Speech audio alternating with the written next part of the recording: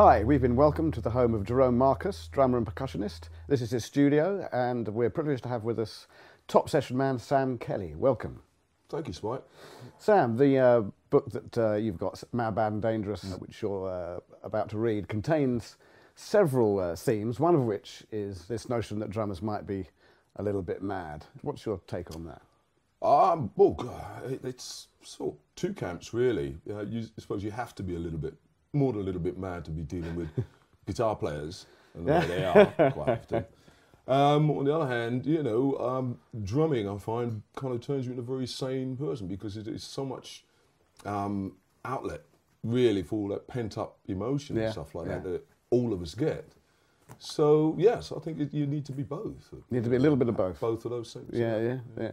Well, Everett Morton from The Beat learnt Mm-hmm. to play on uh, metal sheets. Mm. I learnt on pots and pans and upturned washing up bowls. Did, what, how, how did you start? Unlike a lot of my contemporaries who kind of ended up in, as professional musicians, I never wanted to be a musician. Oh, You know, when I came out of school at the 60s, I wanted to be an engineer, which is what I did all this, the stuff at school. Yeah. And, you know, the technical drawing, etc., etc. And I wanted to be an engineer, and I started. I started, I started doing that. But around that time, 16, 17, you know, Yeah. we, we, we tend to be quite angry. yeah, yeah. Why? And you want to make it. know, we- but we're angry at Yeah, something. yeah. And that's how I started playing John. My, I've got a brother um, who was a percussionist. He's now Yeah. a sculptor. And he, he bought a drum kit, Ah, left it in the basement, got bored with it after a while because it didn't happen for him just like that. And I used to come in rather than kind of beating up people or having myself beaten up, getting getting in fights and things like this. I used to come back, go to the basement, yeah. and just beat the hell out of these drums. Not trying to play a pattern, not trying to play them, but it's therapy Just- basically. yeah, going yeah. back to what you. It sounds like the sanest thing that you could have done. Exactly. Yeah. So that's what I'm saying to you. It's, um, you know, I've got to fit in both camps. Some drummers I interviewed for this book get this thing which we call the panics. Mm-hmm. So when you're playing a gig, all of a sudden one can think, what happens if I can't do this all of a sudden? Um, has that ever happened to you?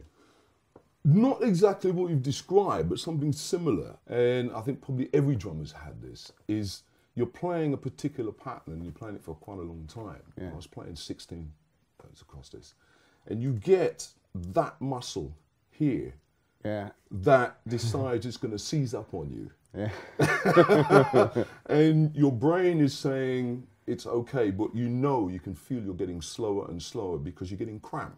Presumably you have to change what you're doing to, temporarily in order to. Um, It, it, it, it not only temporarily, it, completely changed my way of playing. yeah, With the guy I was playing with was Roger Chapman. Oh, this yeah, is going yeah. back to like 1984, and it was my first venture into sort of rock and that style of big, st- uh, big 25, 30,000 people playing uh, Yeah, yeah. uh, type setup. And prior to that, Roger um, is not. He's one of the most volatile guys I've ever yeah. I saw him at that actually time. at the, the jazz Those days. cafe yeah, uh, recently, and he's fairly volatile. Well, he was even more so then. He's, uh, he's probably in his nearly 70s now. and uh, not long before that, we were out kind of doing a sound check, um, this German tour, and uh, he kept getting feedback. Yeah, And he turned around to the monitor mix guy and said, sort it. And it didn't, and it came back. Anyway, this went on three times. On the fourth time, he picked up this mic stand, and Roger at the time, I don't know if he still does it now, but he used to have, you know, those kind of cast iron bass, the three Oh yeah, the re- yeah, yeah, really heavy things. Yeah. Thing and launched it at this, sorted it. Yeah, completely sorted it. Well, the thing is that relates to what, what was happening with me is I'm finding I'm I'm getting slower Yeah, because this this Because of this is cramp that's going So on. I'm thinking, okay, this guy could do this to me. you might get another one. You might. So what I ended up doing, or at the time, I ended up working, getting the technique of playing the old left leg doing this, Ah. yeah. and gave my arm a chance to rest. So you did that with your foot on the hi You did. Yeah, You replaced yeah, the other beats with the foot on the hi hat. exactly. The cramp helped you to develop it, it, some. it another- developed a whole different style because now my, my, my part of my kind of playing is, is Yeah. now kind of around around the eights or sixteens being played on the, on Yeah. the left foot. Yeah. That leaves my Which makes it free to do all sorts of. I can drive guitar players mad with what I can do with it. Because So, they yeah. don't seize up anymore. So It- you- yeah, if it does, I'll just stop and you know let it go on and and it happens all by itself. You know. These right? These I've, I found these in a drawer. Okay, that you can't Oh, you can't see out. I of them. I love it. I You can't see out of them. There's no point in them at all, really. But I tell you who um, inspired me to play the drums when I was 11 was Bev Bevan of The Move. Um, la- latterly yeah. ELO. But on top of the pops, I was watching it and I was 11 and I was struck by this bloke with these dark glasses behind this drum kit and I thought that's that looks great, you know. So, so I watched Top of the Pops every every week after that, looking for these Looking dark it, yeah, glasses, yeah, you know. But, but also got interested in what in the drums. They fascinated me as well. Right, But yeah. Was there anybody that sort of inspired you in that way, or or did sunglasses and things like that? Uh, well, let's say going back to what we were talking about earlier on, it was, it was cheaper than going to a psychiatrist to get myself sorted at Yeah, the time. yeah, was yeah, to play drums. But, play the drums. Um, but no, I mean, well, after I'd started playing, I was lucky enough to do a tour in America, and I was doing the band I was with. We were doing a support um, for Al Green oh yeah, at the time, yeah, yeah. and I think Bernard Purdie, if I remember, right, I think Bernard Purdie was, was, was a drummer at the time. To, to show show me what is possible for someone of, of his stature yeah, to be watching this very young novice player. Yeah. And he watched me for about the first four or five days. I could see this man at the side of the stage. And he came over to me and said, Excuse me, I hope you don't mind me saying this to you, but I've been watching you. And if you try doing this this way, I think you will find it so much easier. yeah. And I just thought that was the most amazing thing. Yeah, but that's me that's so the nature of drummers, isn't it? Absolutely. Like me now, I will go to a young drummer Yeah, and, and suggest something to. As you say, there's, there's affini- an affinity there there definitely is. Yeah, um, yeah, that we just get on. Maybe because we find that when we get to a gig Yeah, and there's two drummers, it will say, oh, you, you want to use this or do you want to use a part of that? You normally won't get that with, with guitar. Well, yeah, absolutely. And I tend to find that guitar players will go, no, it's mine. Mine, mine, mine. You can't mine. have it. Leave that pedal alone. People used to communicate using drums, didn't they? Many many years ago, before we could Yeah. do anything else. Well, thing is, you, you, you, you, walk, you, you, for instance, you do a, a little workshop or a session, uh, uh, children or young people have a choice of instruments. Yeah, Invariably, it's always the drum. where will they head for? Yeah, always the drum kit. Yeah. Nice natural place for them to go. I mean, I remember um, when I was about 11, 12 perhaps, I had these two bongos, these little bongo drums. Yeah. You know, you can buy them by the seaside now. And I was just tapping out a very regular, very simple beat. I couldn't play the drum, I never touched a drum kit before. And we had this visitor who used to come quite a lot, an old friend of my mum's. He was an albino chap called, uh, we used to call him Uncle Bob. His name was Robert Eves. He was a brilliant pianist, amongst other things. But he was, he was quite a, a character, and he was nearly blind. And uh, he heard me in the kitchen with these, and he said, Spike, you got it. Spike, that's it, you've got it.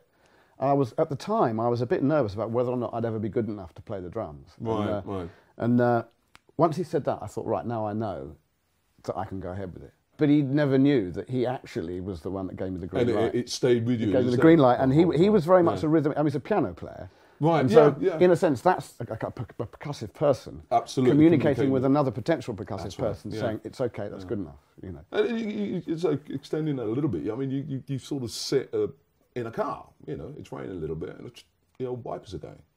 Yeah. And you don't have to be a drum, but you could see people just pick up on that regularity. Yeah, or people doing that on the, on the wheel when they're in a tra- traffic jam. They just start drumming. drummers, but, uh, It's amazing how many people actually do sort of play the drums even if they don't know they're doing it. Mm. Yeah. Even if they can't actually, haven't got the technique, but they're constantly doing something, you know. So Sam, Mm. how about your history? What did, where, you know, who have you played for in the past? And Um, oh wow. Um, I've played for people like Roger Chapman in the 80s. Yeah. Um, I've known Paul Jones, um, the musician, so yeah, DJ for, for many, many years. Every year he puts on a charity gig Yeah. down at Cranleigh Arts Centre.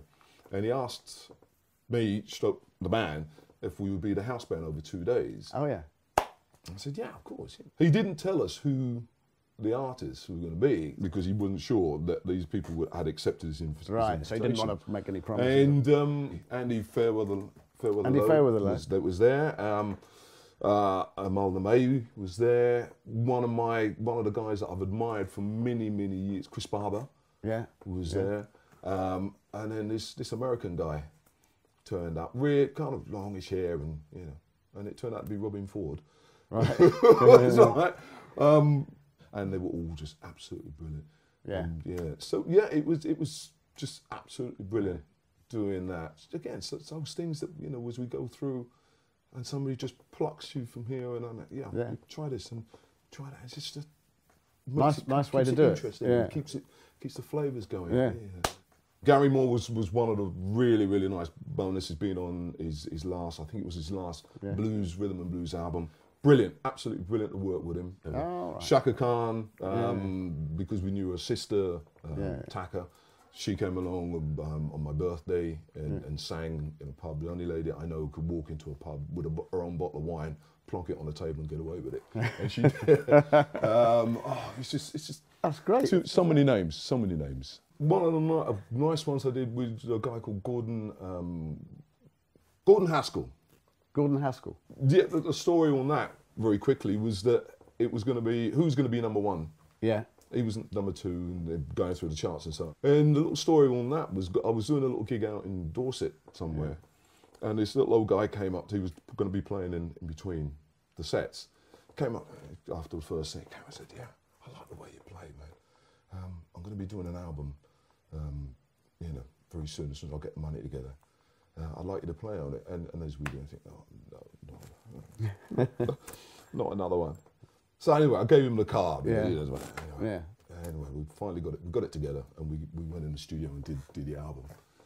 And cut the long story short, it was it, the track got to number number two. You didn't even know who the guy was. Yeah, yeah. Well, the thing is, one, one of the things he, he probably said, if anything happens with this, you know, I'm gonna, I'll make sure you're all right. How, many sure times, all how many times have you heard that? Yeah, You know yeah, I mean?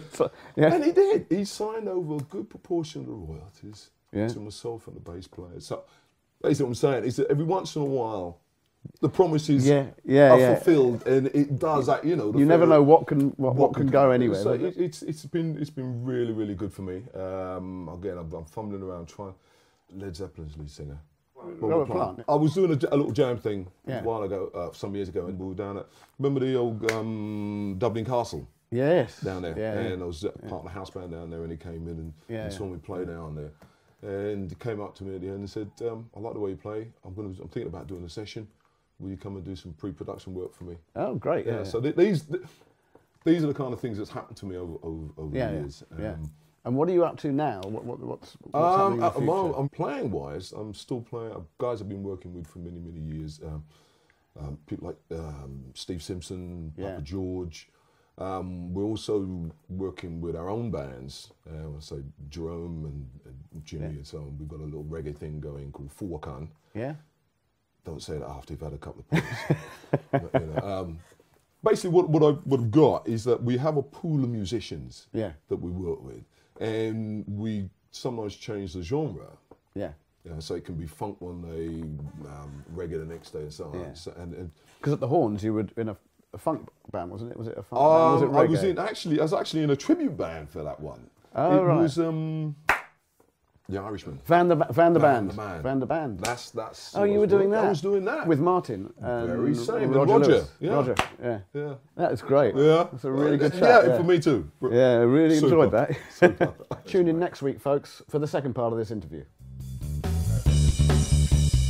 Hi, guys. Thanks for watching. Hope you enjoyed that.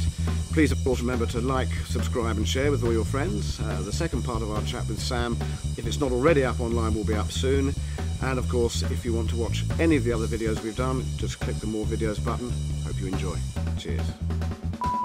It'll look lovely This on is screen. real snow. Tell them it's real. Are you cold?